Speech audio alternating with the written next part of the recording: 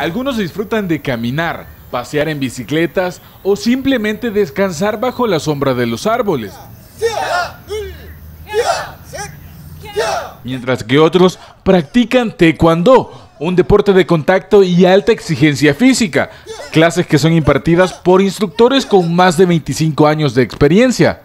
Uno de estos proyectos también es eso, eh, minimizar la violencia del, deporte. Eh, la percepción del taekwondo es mente, cuerpo y espíritu.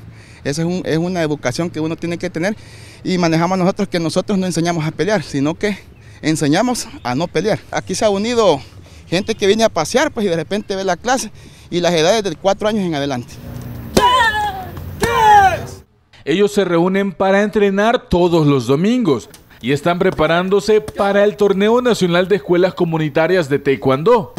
Diego Aguilera lleva ocho años en esta disciplina y dice que el apoyo de su madre ha sido parte fundamental para obtener la cinta negra. A mi mamá no le gustaban estos deportes, pero estábamos, ya por lo menos yo tenía, tenía ganas y gracias a ello tuve el apoyo y pues sigo aquí donde estoy. El primer país que fui fue Guatemala, que fue donde me fue mi primer campeonato internacional, donde gracias a Dios pues fue como fue mi primera vez, iba, fui a ganar como primer lugar y tercer lugar, pero eso me dio la experiencia y ya la seguridad para cuando hubieran competencias ya estar seguro de lo que hago.